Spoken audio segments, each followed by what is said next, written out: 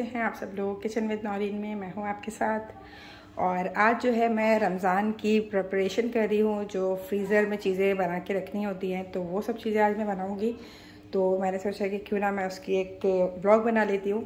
तो चले, मैं जो जो चीज़ें बनाऊँगी आपको दिखाती रहती हूँ, और जो कुछ भी मैं बना रही हूँ, सारी चीज़ों की रेसिपी जो है मेरे चैनल पर ऑलरेडी अपलोड है। तो सबसे पहले जो है मैं बनाने जा रही हूँ शामी कबाब। तो शामी कबाब के लिए जो है मैंने यहाँ पर ले लिया है गोश्त।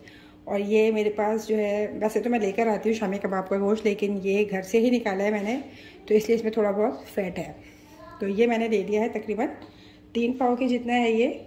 तो इसके अंदर मैं जो जो चीज़ डालूँगी वो आपको दिखाती हूँ और उसके बाद हम इसको कुकर में रख देंगे पकने के लिए। तो यहाँ पे मैंने ले ली है ये साबित लाल मिर्च। जो चटपटे से बनते हैं मेरे घर। तो मैं थोड़ी ज़्यादा सी ले ली है। लहसन डालूँगी इसके अंदर। तो ये लहसन डाल दिया इसके अंदर मैंने। छः सात जगह इस तरीके से मोटे मोटे से डाल दिए और थोड़ा सा डाल दूँगी अदरक। तो वो भी ऐसे ही बस डाल दूँगी। एक डाल दूँगी इसके अंदर प्याज। ऐसे ही डालेंगे क्योंकि कुकर में ही हमने इसको पकाना है। थोड़े से डाल देंगे मसाले। तो मसालों में मैं डाल दूँगी इसके अंदर ज़ीरा।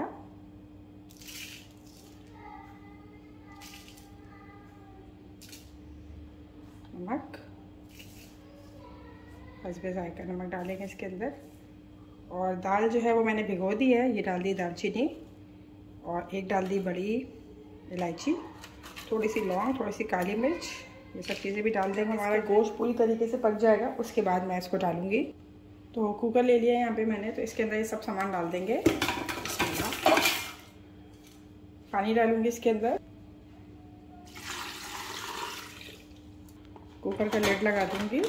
और इसको जो है बिल्कुल गोश्त टेंडर होने तक जो है मैं पका लूँगी। आ जाते हैं हम दूसरी रेसिपी की तरफ़। तो अब मैं बनाने जा रही हूँ चिकन समोसा तो बारबेक्यू फ्लेवर के बनाते तो निकाल लेंगे।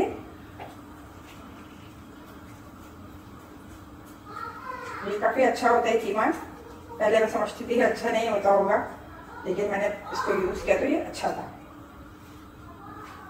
तो सबसे पहले मैं डालूँगी इसके अंदर शान का ये टिक्का मसाला। ज़रा स्पाइसी से बनते हैं मेरे घर में तो स्पाइसी सा बनाएँगे तकरीबन डेढ़ टेबल स्पून के जितना मैंने इसके अंदर डाला है, टिक्का मसाला, और टू टी स्पून डालूँगी इसके अंदर मैं, लहसुन, अदरक का पेस्ट और थोड़े से अपने स्पाइस भी डालूँगी तो यहाँ पे मैंने ले लिया है बिल्कुल थोड़ी सी कुटी हुई लाल मिर्च। जीरा डालेंगे इसके अंदर थोड़ा सा, बिल्कुल थोड़ी सी हल्दी। कुटी हुई लाल मिर्च डाल दी है थोड़ी सी रेड चिली मैंने इसके अंदर अभी काफ़ी सारी प्याज वगैरह भी डाल ली हैं तो इसलिए जो है इसके अंदर स्पाइस जो है वो थोड़े मैं तेज़ ही रखूँगी। इसको अच्छे से मिक्स करूँगी।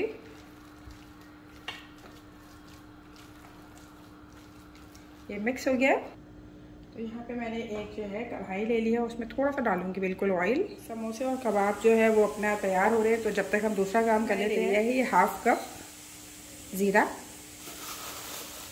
क्वांटिटी आप अपने हिसाब से भी कर सकते हैं बस रेशो बराबर होना चाहिए। ये ले लिया है मैंने धनिया। से इसको रफ्ती कर लेते हैं। ये ले लेंगे। और इसको जो है हम ड्राई रोस्ट पे जो है ये हमारा चिकन भी रेडी हो रहा है। तो चिकन ने पानी वानी छोड़ दिया है तो ये हल्की आँच पे खुद ही पकता रहेगा। यहाँ पे मैंने एक फ्राई पैन ले लिया है इसके अंदर मैं डाल दूँगी ये सारी चीज़ें। और इसको जो है बिल्कुल हल्की फ्लेम पे मैंने रख दिया है। जो है हमारा रेडी हो गया है। इसके अंदर मैं डाल दूँगी प्याज। जो मैंने काफ़ी सारी प्याज दी है। बड़ी बड़ी दो थी मेरे पास और दो तीन डाल दी है इसमें मैंने हरी मिर्चें काट के। इसको मिक्स करेंगे।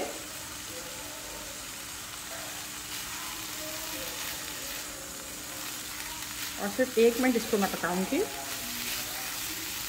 और काफ़ी सारी मैं डाल दूँगी इसके अंदर। ये हरी प्याज का सिर्फ़ ग्रीन पार्ट है ये। और अब कर दूँगी फ्लेम को बंद। और इसके अंदर मैं डालूँगी तकरीबन टू टी के अंदर मैंने जो है, ये ज़ीरा डाल दिया है हाफ़ कप के जितना। और इसको जो है मैं बिल्कुल ड्राई रोस्ट करके इसको कूट के रख दूँगी। भुना हुआ ज़ीरा जो है, बहुत रमज़ानों में काम आता है तो वो भी रेडी कर लेंगे आज ही।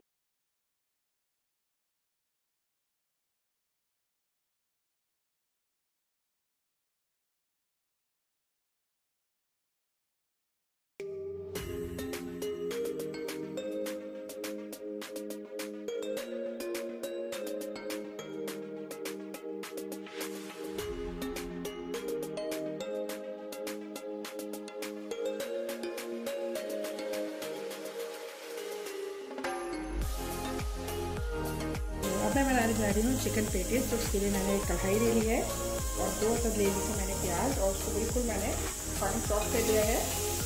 इस तरह से।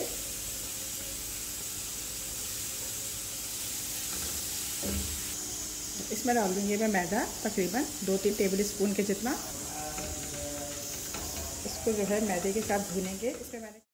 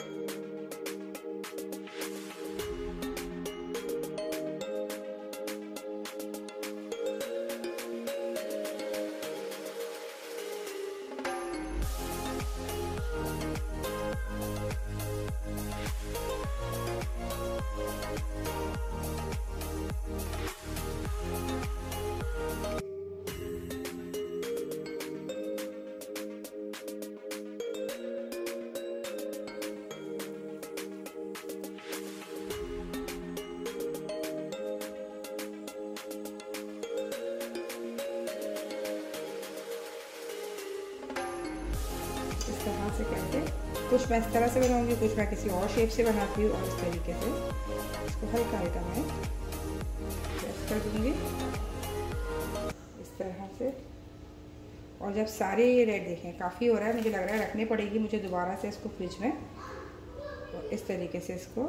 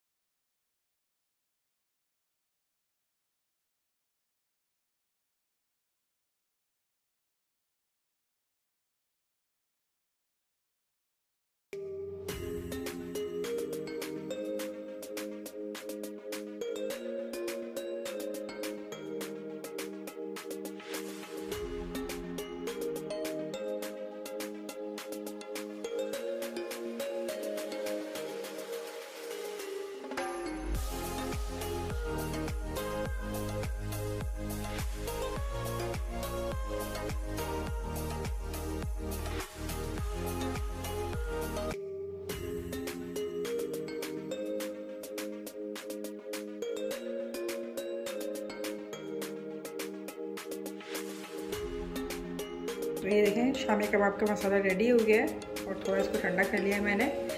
इसको मैं पीस लूँगी।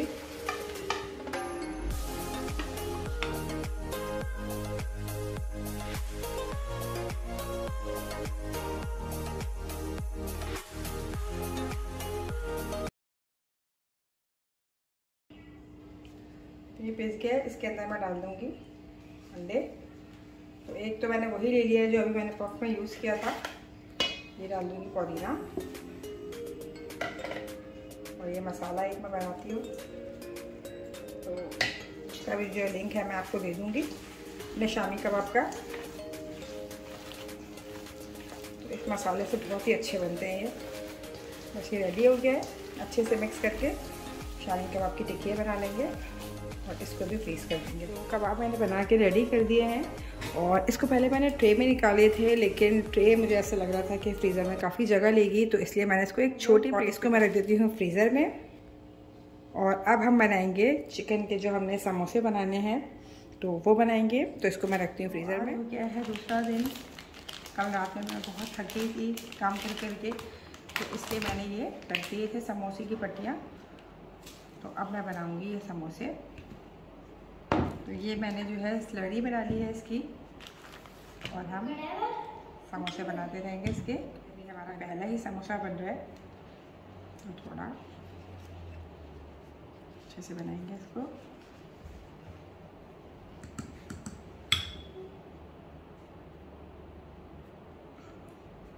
हाथ से ही सही लगती है ये। इसको इस तरीके से बनाते जाएँगे। और यहाँ रखती जाऊँगी मैं। तो समोसों की रेसिपी भी मेरे चैनल पे अपलोड है। जितनी भी चीज़ें मैंने आज बनाई हैं, ये सारी फ्रीज़ करने वाली, ये सब कुछ जो है मेरे चैनल पे अपलोड है। तो सबके मैं लिंक दे दूँगी।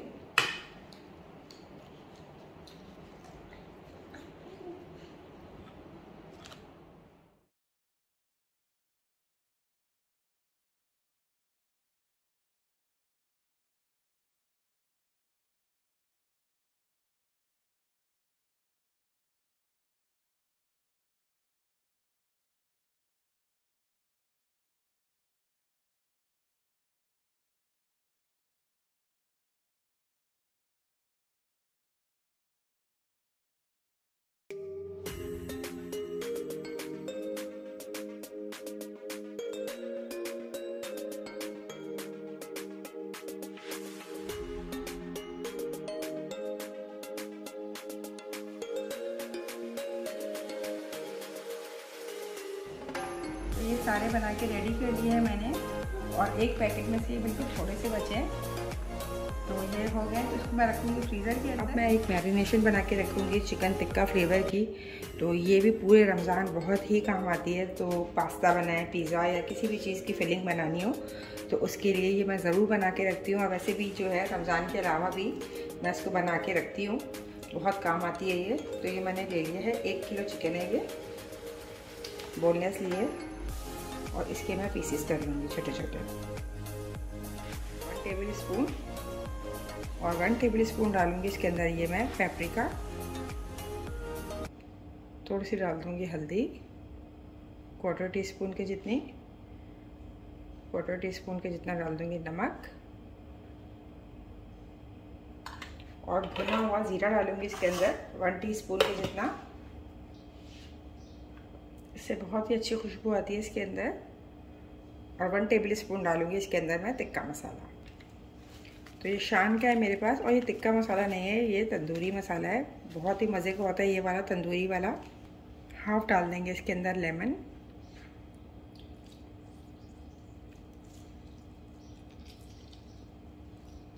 और टू टेबल स्पून डाल दूँगी इसके अंदर में दही। भर भर के डालेंगे। टू टेबल स्पून ये थ्री टेबल स्पून हो गया वैसे। और इसको मैं कर लूँगी अच्छे से मिक्स।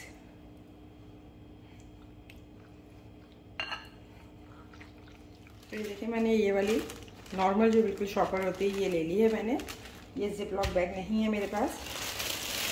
तो इसको हम नॉर्मल जो थैली होती है, उसमें भी कर सकते हैं। इसको इस तरीके से करके मैं चार अंदाजे से कर लूँगी, चार हिस्से इसके।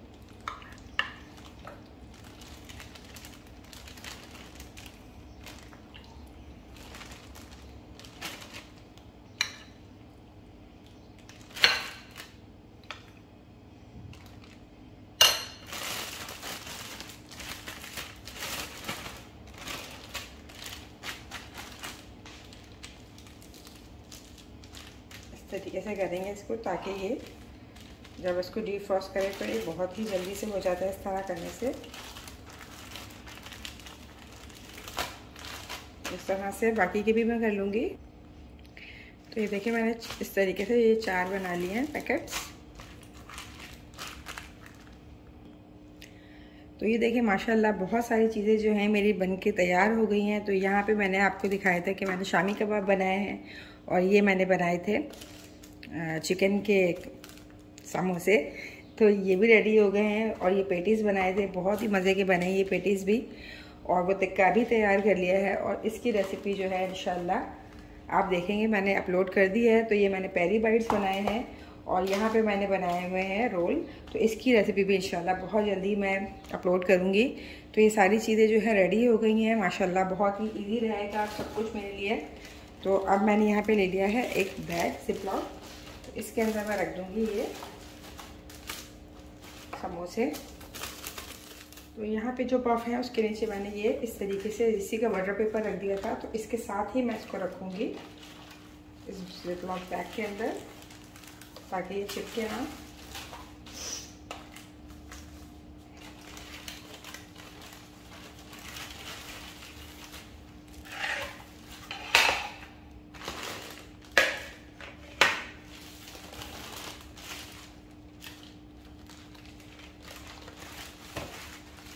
और ये भी हमने ट्राई कर लिए खा के बहुत ही मज़े के बने हैं।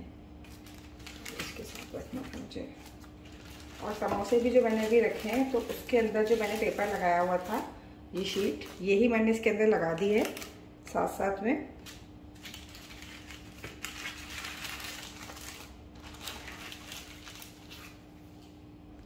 तो काफ़ी बड़ा ये मेरे पास बैग है तो इसलिए मैं ये बटर पेपर के साथ ही दूसरी भी मैंने इसके ऊपर माशाल्लाह सारी चीज़ें जो हैं बन के मेरी रेडी हो गई हैं। तो इसमें जो है मैंने ज़ीरा रखा है और ये मैंने जो दही पड़ो का मसाला बनाया है, ये वो है।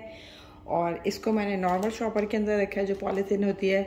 और ये थोड़ी सी मेरे पास जिप लॉक थी तो मैंने वो भी यूज़ कर ली कंटेनर भी यूज़ किया है। तो जो आपके पास हो, आप वो सब कुछ यूज़ कर सकते हैं। जिस तरह आपको ईजी हो, उस तरीके से बना के रखिएगा। और मेरी रेसिपी को ज़रूर देखिएगा और उसको शेयर कीजिएगा लाइक कीजिएगा। इन एक और सिंपल और मज़ेदार रेसिपी के साथ मैं दोबारा हाजिर होंगी। जब तक के लिए अल्लाह हाफिज़।